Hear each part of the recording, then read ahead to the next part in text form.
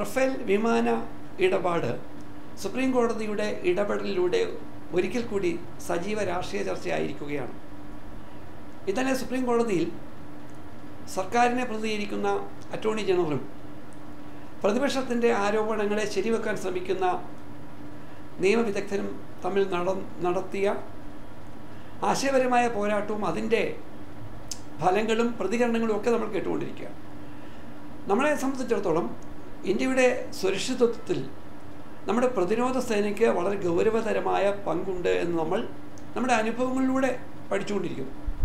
എന്നാൽ പ്രതിരോധ സേനയുമായി ബന്ധപ്പെട്ടുള്ള ആയുധ കച്ചവടങ്ങളിൽ എക്കാലത്തും അവിശ്വസനീയമായ കോടിക്കണക്കിന് രൂപയുടെ അഴിമതി ആരോപണങ്ങൾ ഉയരുകയും എന്നാൽ അത്തരം അഴിമതി ആരോപണങ്ങൾ വേണ്ട സമയത്ത് വേണ്ട അർത്ഥത്തിൽ അതിന്റെ കുറ്റവാളികളെ കണ്ടെത്താൻ കഴിയാതിരിക്കുകയും ചെയ്യുന്ന സാഹചര്യം നമ്മുടെ നാട്ടിലും തുടരുകയാണ്. ഇപ്പോൾ അവസാനമായി നാം കേൾക്കുന്ന റഫേൽ വിമാന ഉടമ്പടി. അറുപത്തേഴായിരത്തി അഞ്ഞൂറ് കോടി രൂപയുടെ വിമാനങ്ങൾ ഇന്ത്യ വാങ്ങുന്നു എന്ന് പറയുകയും എന്നാൽ അങ്ങനെയുള്ള ഒരു കൈമാറ്റത്തിൽ മുപ്പതിനായിരം കോടി രൂപയുടെ അഴിമതിയുടെ ആരോപണം ആരോപണമാണെങ്കിൽ പോലും ഉയരുക എന്നത് സാധാരണ മനുഷ്യരെ സംബന്ധിച്ചിടത്തോളം വിശ്വസിക്കാൻ പോലും കഴിയാത്ത കാര്യമാണ്. ഒരു രാജ്യത്തിന്റെ പ്രതിരോധ സംവിധാനം അതിൽ രാജ്യത്തെ രക്ഷയ്ക്ക് വേണ്ടി നമ്മൾ ആയുധങ്ങൾ വാങ്ങുന്നു. അതിൽ വമ്പൻ കോടികളുടെ ആരോപണങ്ങൾ ഉയരുന്നു. അതിന് കൃത്യമായി മറുപടി പറയാൻ ഭരണ വിഭാ വിഭാഗത്തിൽപ്പെട്ട ആളുകൾ ഭരണകക്ഷിയുടെ ആളുകൾ പരാജയപ്പെടുന്നു തുടങ്ങിയ ഒട്ടേറെ ദുരൂഹതകൾ തുടരുമ്പോഴും നമ്മളെപ്പോലുള്ള ആളുകൾ നിരന്തരമായി ഉത്കണ്ഠപ്പെടുന്ന ചില കാര്യങ്ങളുണ്ട്.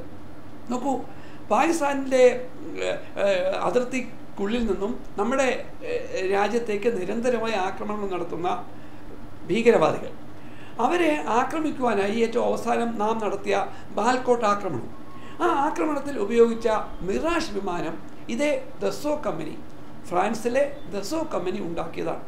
എന്നാൽ അങ്ങനെ നമ്മൾ വാങ്ങിയെടുത്ത മിറാഷ് വിമാനം ഇന്ത്യയിലെ നമ്മുടെ തന്നെ H L Hindustan aeronautical limited എന്ന നമ്മുടെ പ്രതിരോധ വിഭാഗത്തിന്റെ നിയന്ത്രണത്തിലുള്ള റിസർച്ച് ഇൻസ്റ്റിറ്റ്യൂട്ടുമായി ബന്ധപ്പെട്ട് പ്രവർത്തിക്കുന്ന വിമാന നിർമ്മാണ കമ്പനി ബാംഗ്ലൂരിൽ കേന്ദ്രീകരിച്ച് പ്രവർത്തിക്കുന്ന കമ്പനി ആ വാങ്ങിയെടുത്ത മിറാഷ് വിമാനത്തിൽ ഇന്ത്യയുടേതായ ചില പരീക്ഷണങ്ങൾ നടത്തി അതിന്റെ കഴിവും പ്രാപ്തിയും വർദ്ധിപ്പിച്ചു. അതുകൊണ്ടാണ് ഈ മിറാഷ് വിമാനങ്ങൾക്ക് പാകിസ്ഥാന്റെ അതിർത്തി കടന്ന് എഫ് സിക്സ്റ്റീൻ വിമാനങ്ങൾക്ക് പ്രതിരോധിക്കാൻ കഴിയാത്ത തരത്തിൽ ആക്രമണം നടത്തി തിരിച്ചു വരാൻ കഴിഞ്ഞത്. ഇതിന്റെ അർത്ഥം നമ്മൾ വിശിഷ്ട ഇന്ത്യൻ പ്രതിരോധ സേന ഏതെങ്കിലും രാജ്യത്ത് നിന്ന് വിമാനം വാങ്ങി എന്നാൽ കേവലം അത് വാങ്ങിയെടുക്കലല്ല മറിച്ച് അത് വാങ്ങിയെടുത്ത് അതിന് ചില ഭേദഗതികൾ വരുത്തി അതിന്റെ കാര്യക്ഷമത വർദ്ധിപ്പിച്ച് നമുക്ക് നൽകിയ വിമാന കമ്പനിക്ക് പോലും വിശ്വസിക്കാൻ കഴിയാത്ത തരത്തിൽ അതിന്റെ പ്രവർത്തനങ്ങളെ മെച്ചപ്പെടുത്താനുള്ള കഴിവ് നമുക്കുണ്ട്. ഇപ്പോൾ ഏറ്റവും അവസാനം റഫേൽ വിമാനവും തീർച്ചയായും ഇതേ ദസോ എന്ന കമ്പനിയിൽ നിന്നാണ് നമ്മൾ വാങ്ങുന്നത്.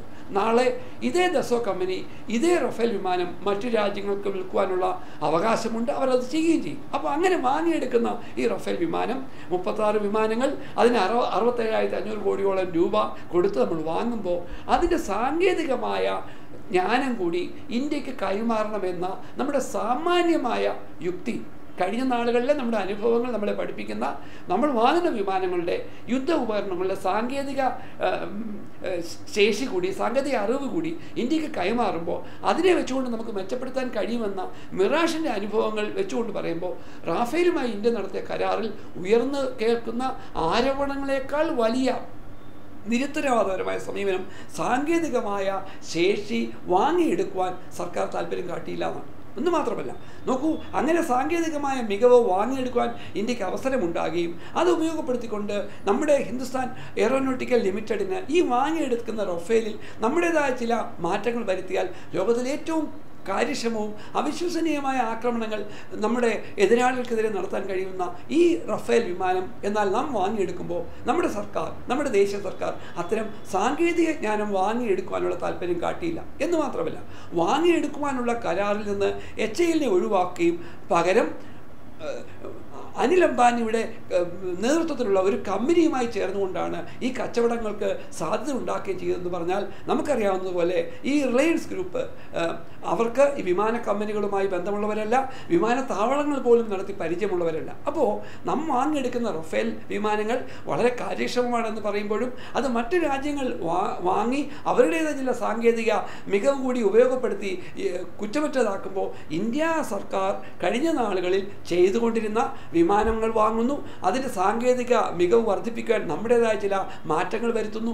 തുടങ്ങിയ നമ്മുടെ കഴിഞ്ഞ നാല കഴിഞ്ഞ കാലത്തെ വിജയഗാഥകൾ റഫേലിൽ പരീക്ഷിക്കുവാൻ അവസരമുണ്ടാക്കാത്ത തരത്തിലാണ് നാം ഫ്രാൻസിൽ നിന്ന് വിമാനങ്ങൾ വാങ്ങിയത്. അതുകൊണ്ട് റഫേൽ ഉടമ്പടിയെ കേവലം അഴിമതിയുടെ ആരോപണം എന്നതിനപ്പുറം റഫേൽ വിമാനത്തിന്റെ സാങ്കേതികമായ അറിവ് കൂടി നാം വാങ്ങിയെടുക്കാൻ ശ്രീ മോഡി മടിച്ചത് തീർച്ചയായും റഫേൽ വിമാനം ഉപയോഗിച്ചുകൊണ്ട് നാളെ നമ്മൾ നമ്മുടെ ശത്രുക്കൾക്കെതിരെ നടത്താൻ നിർബന്ധിതമാകുന്ന ആക്രമണത്തിൽ അതിന്റെ കാര്യക്ഷമത വർദ്ധിപ്പിക്കാനുള്ള അവസരം ഒഴിവാക്കുന്നുണ്ട്. ഇവിടെ പറഞ്ഞു വന്നത് റഫേൽ വിമാന ഉടമ്പടിയിൽ അഴിമതി മാത്രമല്ല മറിച്ച് ആ വിമാന കമ്പനിയുമായി നാം ഉണ്ടാക്കേണ്ടിയിരുന്ന സാങ്കേതികമായ തികവ് വർദ്ധിപ്പിക്കാനുള്ള അവസരം പോലും നമ്മുടെ കേന്ദ്ര സർക്കാർ ശ്രീ മോഡി അദ്ദേഹത്തെ നിയന്ത്രിക്കുന്ന ഒട്ടേറെ ചില സംഘങ്ങളുടെ താല്പര്യപ്രകാരം ചെയ്തില്ല എന്നത് ഗൗരവതരമായ വീഴ്ചയാണ്. അതുകൊണ്ട് റഫേൽ വിമാനങ്ങൾ നമ്മൾ വാങ്ങുമ്പോൾ അതിന്റെ സാങ്കേതിക തികവ് കൂടി മനസ്സിലാക്കി അതിന്റെ കഴിവ് വർദ്ധിപ്പിക്കാനുള്ള അവസരം ത്തെ കളഞ്ഞു കുളിച്ചുകൊണ്ടുള്ള